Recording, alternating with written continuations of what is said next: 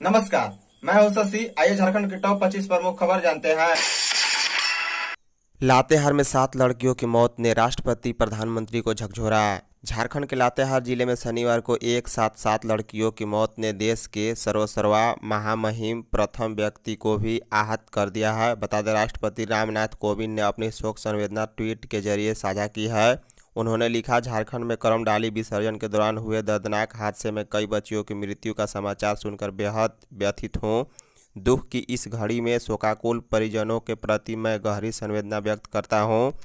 मालूम हो कि लातेहार ज़िले के बालूबाग थाना क्षेत्र अंतर्गत बुकरू गाँव में रेलवे संवेदक की ओर से खोदे गए गड्ढे को समय पर नहीं भरे जाने के कारण सात बच्चियों की जान चली गई। शिक्षकों के प्रमोशन पर जल्द आएगा फैसला। राष्ट्रीय शैक्षणिक महासंघ माध्यमिक प्रकोष्ठ, झारखंड की शनिवार को हुई बैठक में शिक्षकों की लंबित प्रोन्नति को लेकर स्कूली शिक्षा एवं साक्षरता विभाग का ध्यान आकृष्ट कराने का निर्णय लिया गया। साथ ही अनुकंपा शिक्षकों को यथाशीघ्र ग्रेड वन से ग्रेड टू में प्रोन्नति दिलाने की मांग की जाएगी। बता दें, बैठक में एक कार्यक्रम के दौरान वित्त मंत्री रामेश्वर उरांव एवं दिए गए बयान के विरोध में महासंघ ने सर्वसम्मति से निंदा प्रस्ताव भी पारित किया। झारखंड के सभी जिलों में भाजपा का सेवा एवं समर्पण अभियान शुरू। प्रधानमंत्री नरेंद्र मोदी के जन्मदिन के मौके पर 17 सितंबर से प्रदेश के सभी 27 सांगठनिक जिलों व 513 मंडलों में सेवा एवं समर्पण अभियान की शुरुआत की गई है। बता दें 20 दिनों तक चलने वाले इस अभियान का शुभारंभ झारखंड प्रदेश कार्यालय में प्रदेश अध्यक्ष दीपक प्रकाश ने किया। मौके पर प्रधानमंत्री की जीवनी पर आधारित प्रदर्शनी एवं नमो ऐप का भी उद्घाटन भी किया गया। कार्यक्रम में पद्मश्री मुकुंद नायक और पद्मश्री बलबीर दत्त ने भी अपनी उपस्थिति दर्ज कराई। आठ हज़ार कर्मचारी करेंगे नेपाल हाउस का घेराव। एनआरएचएम में कार्यरत आठ हज़ार कर्मचारी सोमवार को नेपाल हाउस का घेराव करेंगे। बता दें, अनुबंध कर्मियों ने बताया कि सरकार उनकी मांगों को लेकर उदासीन रवैया अपना रही है। इस कारण हम ऐसा करने को बाध्य हैं। बता दें कि राज्य भर में अनुबंध पर कार्यरत A N M G N M pharmacist, x ray technician और लैब टेक्नीशियन अस्थायीकरण और समान काम के बदले समान वेतन की मांग कर रहे हैं। इसके अलावे वेतन विसंगतियों को दूर करने को लेकर लंबे समय से मांग कर रहे हैं।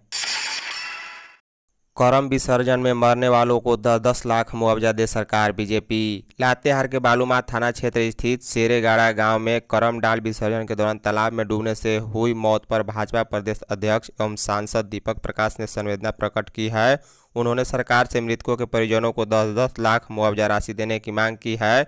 कहा कि इस घटना पर भारतीय जनता पार्टी संवेदना प्रकट करती है। ऐसे समय में भगवान उनके परिवार को यह दुख सहने की शक्ति दे। उन्होंने कहा कि भाजपा मांग करती है कि सभी मृतकों के परिवार को हेमंत सरकार दस दस लाख रुपया का मुआवजा दे। लातेहार के सात युवतियों के डूबने की घटना पर जाँच का आदेश। झारखंड के लातेहार ज़िले में बेहद दुखद घटना घटी है। बता दें, कर्मा डाल का विसर्जन करने गए बालूमाथ थाना क्षेत्र की शेरगढ़ा पंचायत अंतर्गत मनंडी ग्राम की सात युवतियों की मौत तालाब में डूबने से हो गई है। अब इस मामले में सीएम हेमंत सोरेन ने अपनी संवेदना जताते हुए दुख प्रकट कर शोक संतपत परिवारों को इस समय पर दुख सहन करने की शक्ति देने की प्रार्थना की है। उन्होंने कहा है कि लातेहार ज़िले के शेरेगढ़ा गाँव में करमडाली विसर्जन के दौरान सात बच्चियों की डूबने से हुई मौत की खबर सुनकर अस्तबद्ध हूँ। परमात्मा दिवंगत आत्माओं को शांति प्रदान कर शोक संपत्त परिवारों को दुख की घड़ी सहन करने की शक्ति दे। साथ ही साथ उन्होंने उप विकास आयुक्त को इस मामले पर जाँच करने का निर्देश भी दिया है। झारखंड के 1102 केंद्र पर जेपीएससी परीक्षा आज। झारखंड लोक सेवा आयोग की सातवीं संयुक्त सिविल सेवा प्रारंभिक परीक्षा रविवार को दो पालियों में होगी। बता दें, राज्य के 24 जिलों में 1102 केंद्र पर होने वाली इस परीक्षा में शामिल होने के लिए तीन लाख उनहत्तर हज़ार तीन सौ सत्ताईस अभ्यर्थियों को प्रवेश पत्र जारी किए गए हैं। आयोग ने सभी परीक्षार्थियों को परीक्षा शुरू होने से आधे घंटे पहले परीक्षा केंद्र पर पहुँचने तथा निर्धारित सीट पर बैठने का सुझाव दिया है। बता दें, परीक्षा शुरू होने के बाद परीक्षार्थियों को परीक्षा केंद्र में प्रवेश की अनुमति नहीं मिलेगी। तमिलनाडु से रेस्क्यू किए गए पलामू और चतरा के सात बच्चे। पलामू और चतरा के सात नाबालिग बच्चों को रेस्क्यू कराकर रांची लाया गया, बता दें सी डब्ल्यू सी और समाज कल्याण विभाग, तमिलनाडु सरकार ने बच्चों को उनके पिता के हाथों सौंपा। सभी रांची स्टेशन पर सुबह सात बजे हटिया धनबाद स्पेशल ट्रेन से पहुँचे थे। बता दें, गरीब बच्चों को रांची से पलामू चतरा तक जाने का भाड़ा तक नहीं था। उन्हें सामाजिक कार्यकर्ता सह पूर्वी टीएसी सदस्य ने सहयोग स्वरूप पैसे दिए। एयर इंडिया की हैदराबाद विमान सेवा 20 सितंबर से। एयर इंडिया की हैदराबाद रांची विमान सेवा 20 सितंबर से शुरू होगी। बता दें, यात्रियों के लिए यह सेवा सप्ताह में दो दिन, सोमवार और बुधवार को उपलब्ध होगी। दिल्ली से शाम को छः बजकर पंद्रह मिनट आने वाला विमान सप्ताह में दो दिन हैदराबाद के लिए उड़ान भरेगा।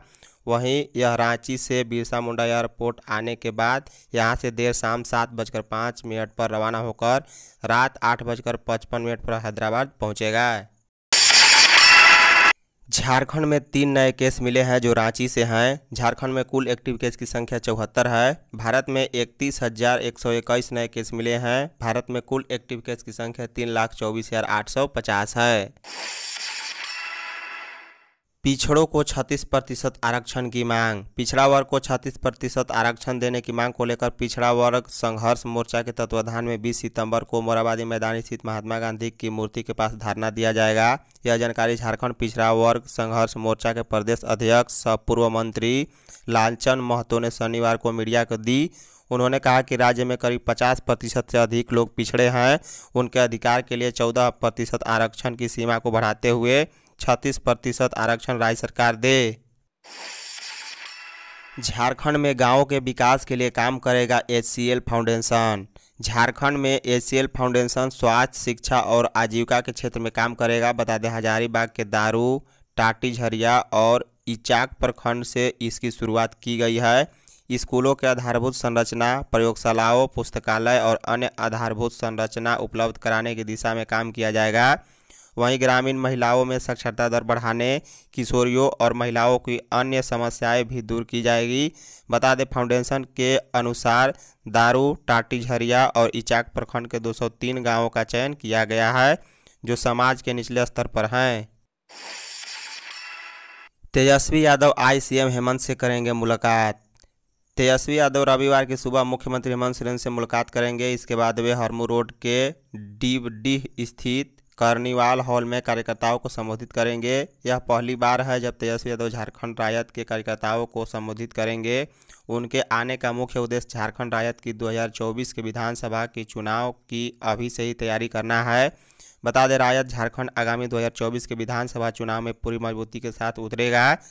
राजद ने दावा तो यहाँ तक कर डाला है कि उसकी नज़र सभी इक्यासी सीटों पर चुनाव लड़ने की है।